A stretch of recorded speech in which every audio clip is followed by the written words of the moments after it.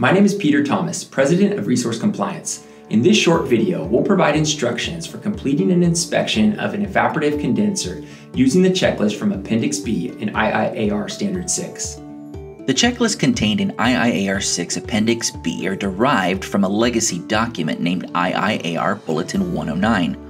For years, the Bulletin 109 checklists, or B109s, served as the gold standard for documenting annual mechanical integrity inspections for ammonia refrigeration equipment.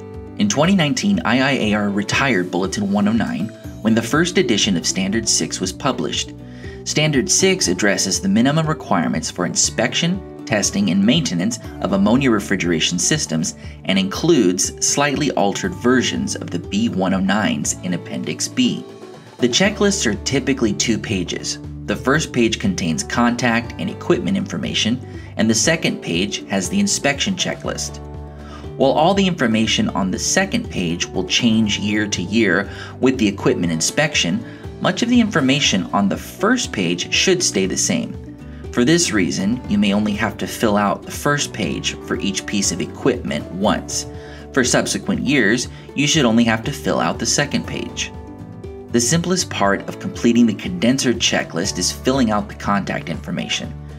Each IIAR 6 checklist requires the inspector to indicate the location, owner, and physical address of the system. The contact's name and phone number should be the facility representative responsible for ensuring the inspection is completed. Additionally, the inspector must write his or her own name and the date of the inspection. The ID or tag number belongs in the upper right corner and can typically be found on the equipment label or P&ID. The manufacturer model and serial number in the section titled Equipment Data and Limits can be obtained from the condenser's nameplate. Many of the condenser manufacturers use the first two digits of the serial number to indicate the year the condenser was manufactured. The condenser submittal or catalog is needed to populate the other fields in this section. For example, this condenser has a design condensing pressure of 350 psig and a normal ammonia inventory of 1,275 pounds. Likewise, the data pertaining to the fan motor and pump motor can be obtained from the motor nameplates. In this section, you will see items such as voltage, frame size, belt quantity, and belt size. For fans and pumps that are direct drive, the fields pertaining to the belts should be marked NA.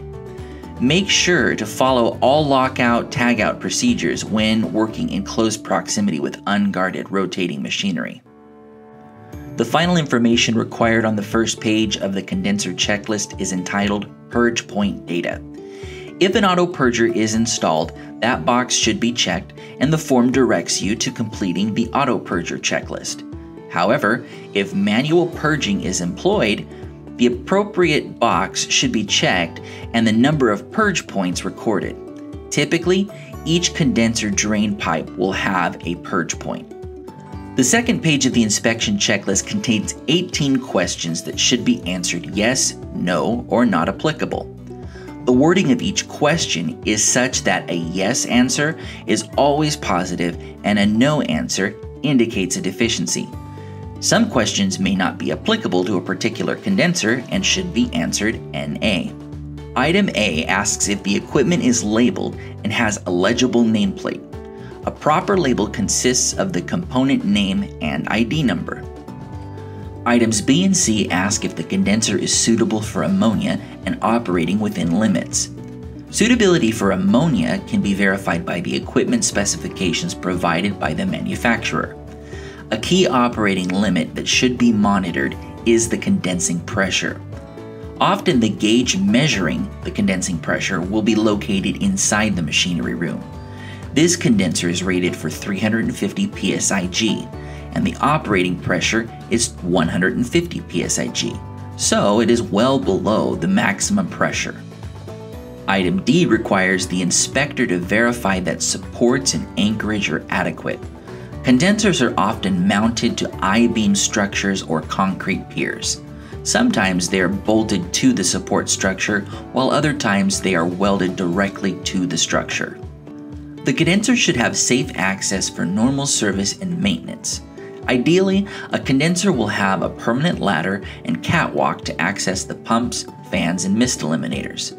When this is not provided, facilities must utilize extension ladders or aerial lifts to access the top of the unit.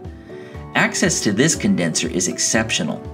The installing contractors had the foresight to make the isolation valves accessible from the permanent catwalk. Checklist items F, G, and H are specific to leaks or equipment deficiencies. The inspector must do a visual inspection of the entire condenser to verify the equipment is free from vibration and leaks.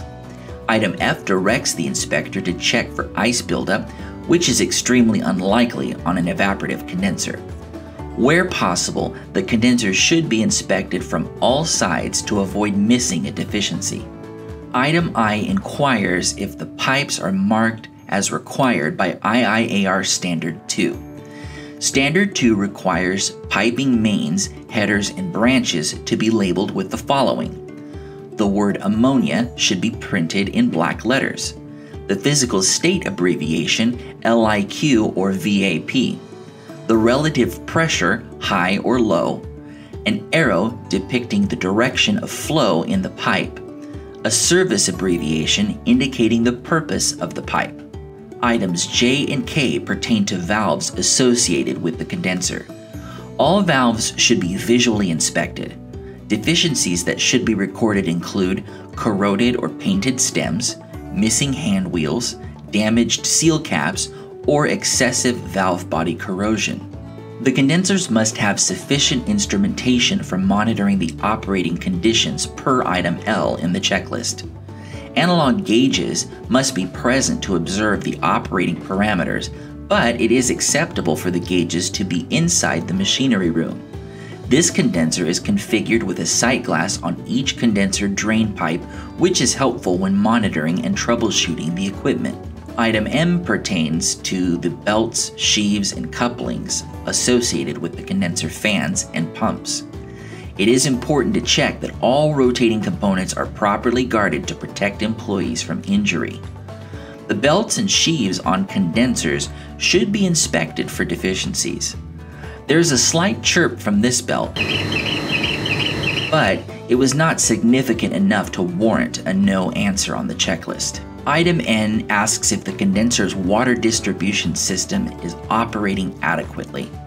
One way to do this is by lifting the mist eliminator while the condenser is in operation to ensure the flow pattern is correct. Item O asks if the condenser's coils, water sump, strainers, and mist eliminators are clean. The inspector will be required to open the access door to the condenser in order to complete this inspection.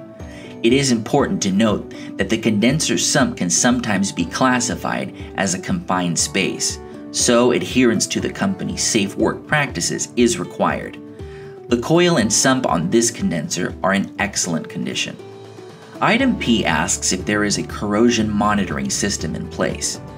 Chemical treatment of the condenser water is often provided by a third party vendor who specializes in water chemistry. The inspector can verify that the chemicals are in place and that the associated chemical equipment appears to be functioning correctly. This facility has set up a PLC to monitor water conductivity and other parameters continuously. The second page of the inspection checklist concludes with items Q and R. Item Q requires the entire surface of the condenser to be inspected, and any surface corrosion or pitting must be recorded as a deficiency. If a deficiency is noted, an additional check mark is required to indicate if the damage is slight or extensive.